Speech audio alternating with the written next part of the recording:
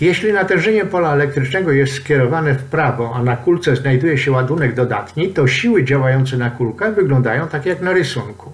Działają na nią trzy siły. Jej ciężar P, siła elektryczna F ze wskaźnikiem EL i siła napięcia nici.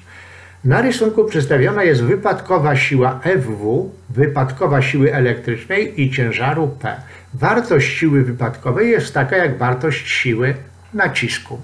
Zwróć uwagę na trójkąt prostokątny. Stosunek siły elektrycznej do P to jest stosunek przy prostokątnej leżącej naprzeciw kąta alfa do drugiej przyprostokątnej. Jest to nic innego, tylko tangens kąta alfa. Siłę elektryczną rozpisuje według wzoru Q razy E, który to wzór wynika z definicji natężenia pola elektrycznego, a ciężar to mg.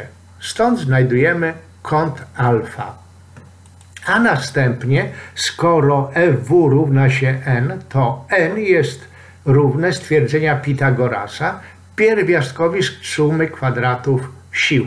Podstawiamy wzory tak jak to uczyniliśmy przy tangensie i znajdujemy wartość siły n w newtonach.